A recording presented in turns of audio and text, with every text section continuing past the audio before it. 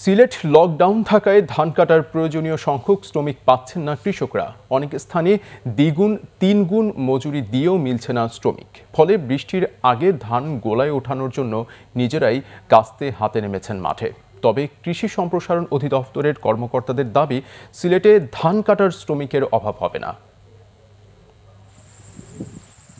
দেশের উত্তর পূর্বাঞ্চলীয় জনপদ সিলেটের হাওরে হাওরে নতুন প্রাণের দোলা লেগেছে। পাকতে শুরু করেছে বড় ফসল।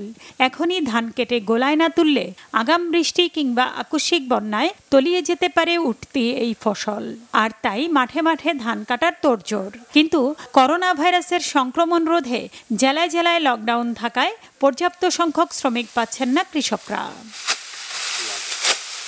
ডবল টেকা লাগে মানুষ দিয়ে ধান হাঁটাই দিলে মানুষও মিলাই যান না বাইরে তোর দেয় এই টেকা দিতে দিছে আমরা আনি তাহলে তো আমরা আর কোনো দিওয়ার না। আমরা ক্ষেতগ্রস্ত অনেক ক্ষতি গেদার অত সইরা ক্ষেত কইরা ধান হারতে পারলাম না। শুধু সিলেট জেলাতেই আশি হাজার পাঁচশো পঁয়ষট্টি হেক্টর জমিতে এবার বোরো ধানের আবাদ হয়েছে। উৎপাদনের লক্ষ্যমাত্রা ধরা হয়েছে তিন লাখ ছ হাজার মেট্রিক টন চাল। ফসল কর তো কিন্তু শুরু হয়েছে। আর হয়তো এক মাস এদিকে, হবিগঞ্জ জেলার বানিয়াচং, আজমিরিগঞ্জ, লাখাই ও নবীগঞ্জ উপজেলার বিস্তীর্ণ এলাকা জুড়ে বোরোর আবাদ হয়েছে। চলতি মৌসুমে জেলায় এক লাখ বিশ হাজার আটশো হেক্টর জমিতে বোরো ধান চাষ হয়। উৎপাদনের লক্ষ্যমাত্রা ধরা হয়েছে চার লাখ আটাশি হাজার সাতশো একষট্টি মেট্রিক টন।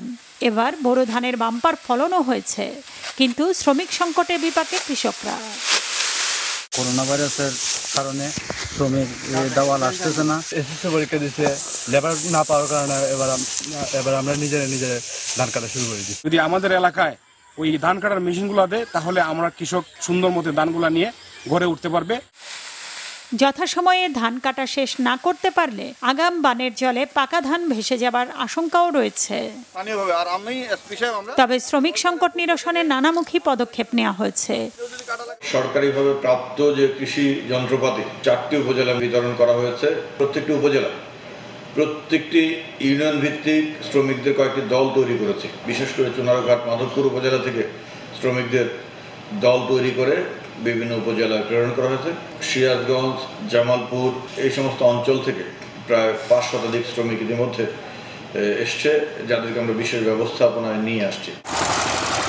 ঠিকমতো ধান কৃষকের ঘরে উঠলে দেশের চালের সংকট অনেকটাই মিটে যাবে বলে আশা কৃষকদের। Bangla vision news desk.